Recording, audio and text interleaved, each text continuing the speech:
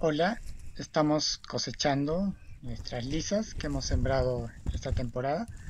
Pueden ver que estamos retirando primero la pajita, porque son las lisas que hemos sembrado en el bancal, en la camita, que está cubierta de paja. Entonces lo primero es retirar la paja y ahí ya van apareciendo algunas de nuestras lisitas.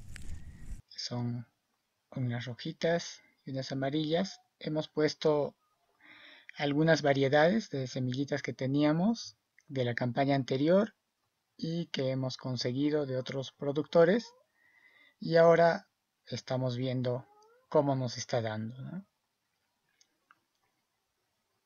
Pueden ver la plantita de la lisa que ha crecido frondosa y nos está dando estas lisitas. Aquí hay una variedad de lisas que se ven como blanquitas, que son lisas verdes, que conseguimos de Huánuco, nos dieron unas cuantas semillitas y reproducimos en Cusco y ya en la chacrita acá el año pasado. Ya están adaptadas estas semillitas y ahí las pueden ver. Son unas lisitas de color verde y que ha producido buena cantidad este año. Son medias redonditas estamos sacudiendo la planta para que caigan todas las lisitas porque en una misma planta crecen grandes, medianas, pequeñitas. Nosotros vamos a usarlas todas. Las pequeñitas las usaremos para hacer lingli, para hacer cholque, para deshidratar las lisas. Ahí retiramos un poco más de pajita para sacar otras variedades que están ahí. Hay una lisa rojita queremos mostrar. Ahí está.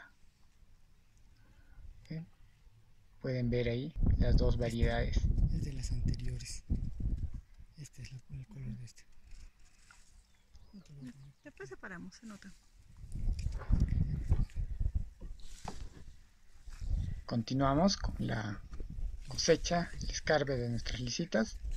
Mover un poco, ayudados por un pequeño piquito, porque hay más lisitas en la parte baja también ahí estamos encontrando miren aquí las tenemos estamos colocando provisionalmente en un saquito esta es la paja que estamos retirando para volverla a utilizar y ahí continuamos con la cosecha, ¿no? Con el escarbe, que es bien sencillo cuando lo hacemos así en un bancal, ¿no? En una cama de cultivo. No te olvides de poner un pulgarcito. Seguimos con la escarbe cosecha de las lisas o yucos que estamos juntando en colocando porque lo vamos a orear primero para después ya seleccionarlo y almacenarlo. Eh, la lisa es una plantita que crece muy muy bien no es muy delicada y nos proporciona un buen alimento. Incluso estas hojitas las hemos ido comiendo como espinaca digamos mientras estaban tiernas y ahora nos da su fruto entonces nos alimenta dos veces y pueden ver las variedades que, están saliendo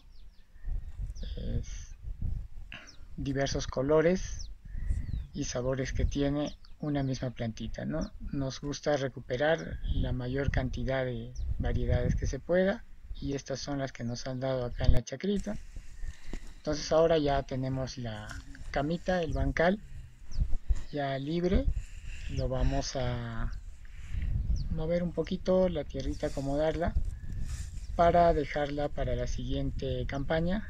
Es la ventaja de hacer bancales que ya no se tiene que volver a arar solo la tierra mover un poco. Y lo importante es dejarla cubierta ¿no? para que la helada y la exposición al sol no mate los microorganismos que están adentro.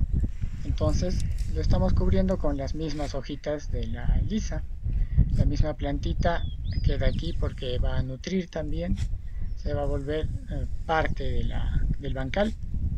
Y así no necesitamos mayores insumos ¿no? es lo interesante de, la, de estas formas de cultivo que utilizan al máximo el mismo recurso las mismas plantas. Luego ya esto está cubierto.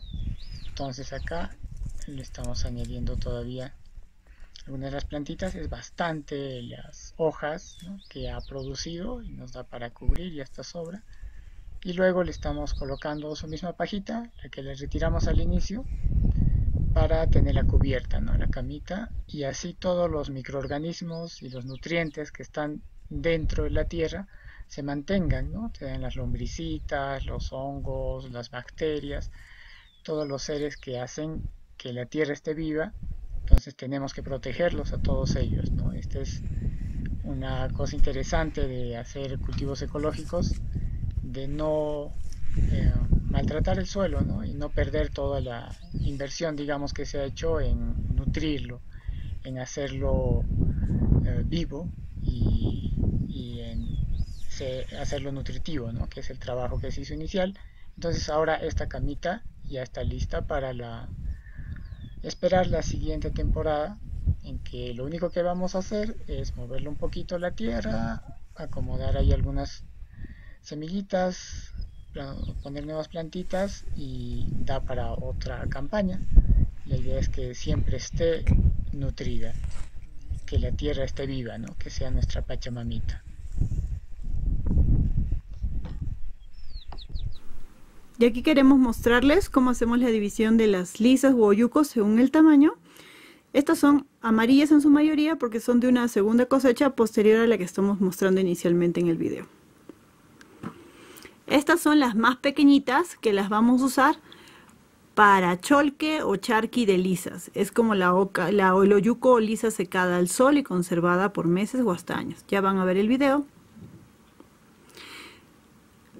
Estas medianas son para nuestro consumo, pero también las podemos usar para hacer mayuyo de lisas o lingli de lisas, que son lisas que previamente han tenido remojo o un paso de helada. Mejores medianitas, no tan chiquitas, porque estas sí se van a reducir bastante. Y estas grandes son las que usamos para ocasiones especiales o para semilla, que son las que se van a guardar para la siguiente temporada. Y así es que hacemos el proceso con las oyucos, las lisas, las ocas, este, maíces y todo. Separar los tamaños para este, determinar su uso y con la lógica de que nada se desperdicia, todo se aprovecha. No te olvides ayudarnos con su difusión poniendo un pulgarcito, siguiéndonos en las redes en las que estamos activando y si está en tus condiciones, darnos un apoyo económico. Tu Pananchiscama.